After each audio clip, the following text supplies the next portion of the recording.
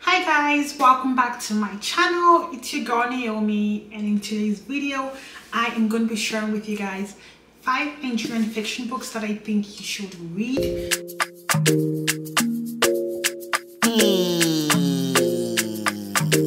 Cause if you love to read, okay so real quick, real quick story, very quick, two seconds. So like a lot of people you know in my generation i started reading and you know most of the books i read growing up are about like white people i'm nigerian.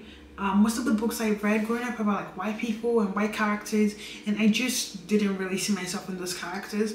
And so the order of garden i have intentionally sought out to read black fiction books. I'm gonna be like making this into like a series and like dividing it into like different black fiction books. So today's edition we're gonna be talking i'm gonna be recommending there's so many more that I have in my on my bookshelf.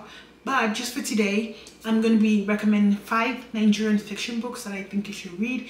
I'm going to give you a very short snippet of what each one is about. And yeah, and I'm going to be recommending them to you guys to read because they're amazing. Um, I'm also going to do other ones. So my Caribbeans, don't feel left out. I do have some very good Caribbean fiction as well. I'm going to do regular like African American fictions as well. They're very like literary, literary fiction, good books today's edition i am going to be recommending to you guys five nigerian fiction books i think you should read part one because i have more the first one that i'm going to be recommending is called the secret lives of Baba, Shagi, Baba wives, The Secret Lives of Baba Shagi's wives. And actually, I like this book because it's set um, in the city.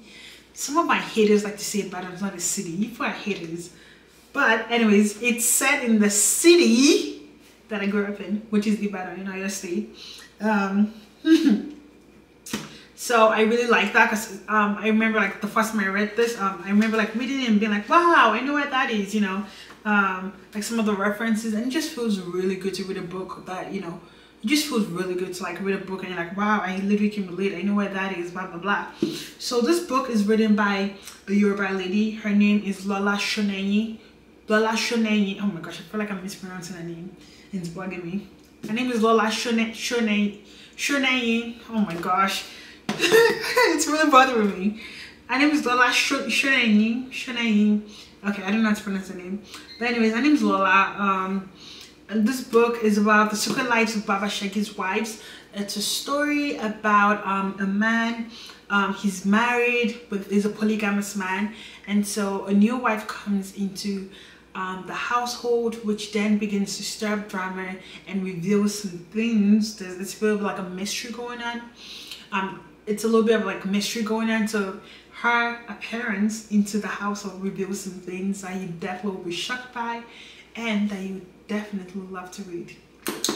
Definitely check out this book. It's a pretty, really good one. It's called The Secret Lives of Baba Shagi's Wives.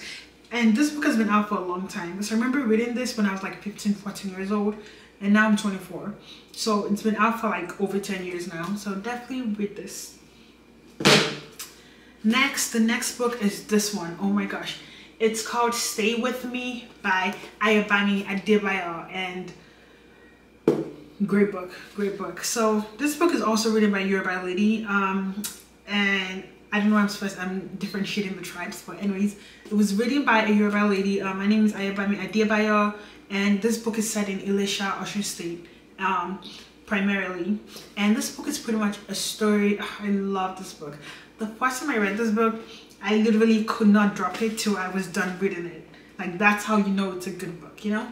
And so this book is a story of a couple, a young married Nigerian couple, um, who are childless and they're struggling with infertility.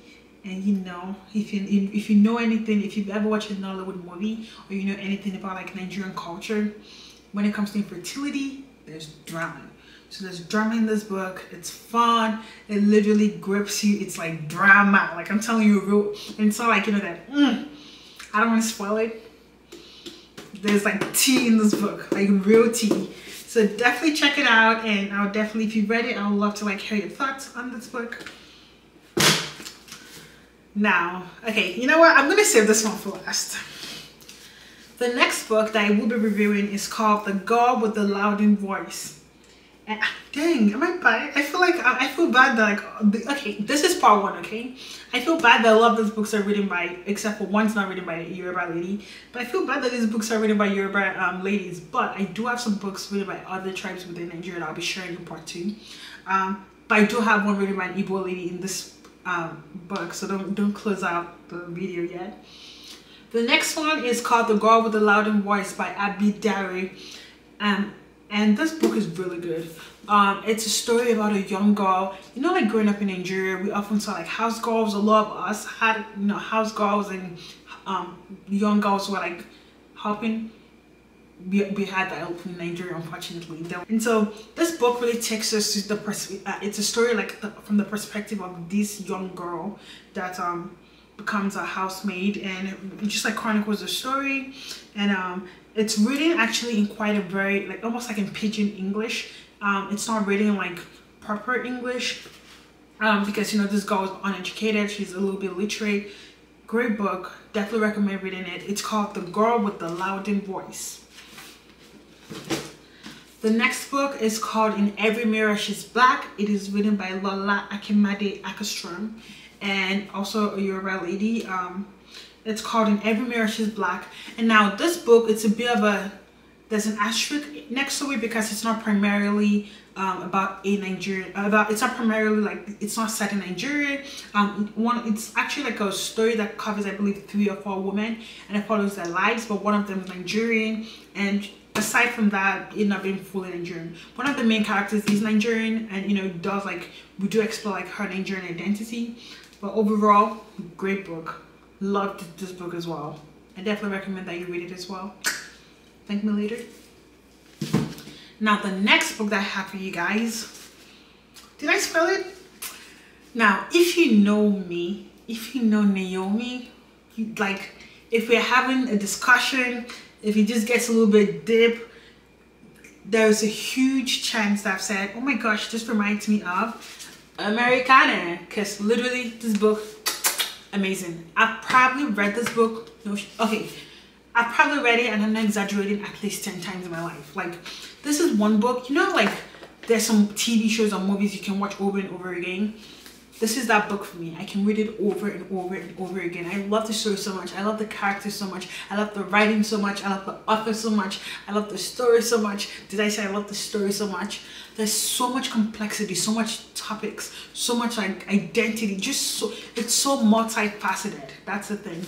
This book is called Americanah by Chimamanda Ngozi Adichie. I really love this book. It follows the stories of two young um, adults in Nigeria Obinze and Ifemelu and how um, they both actually leave Nigeria due to Nigerian Nigerian. Um, but it's not literally, I feel like, honestly, I feel like trying to explain this book will do it a disservice because it will be me just trying to um, summarize it. And I don't want to like, I, I don't want to like just make it too concise, but this book talks about race, it talks about identity, it talks about love, it talks about country, it talks about so much. Like, I love this book so much. So I really, really, really, really, really encourage you guys to read it. Seriously.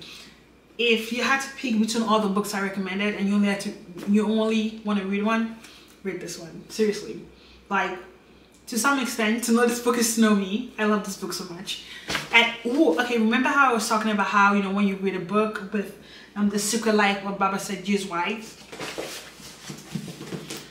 Remember with this book, I, you know, I love how, you know, um, it's set in Ibadan and I can relate to that. Some scenes in this book is set in Philadelphia and actually I'm not, I'm not gonna like, I don't want to, I don't want to say too much, but actually this book literally mentioned my street. Like I love it. I love the fact that I can picture it. You know, I love that some scenes are set in um, Philadelphia. So I really like that about this book. So yeah. Thank you for watching.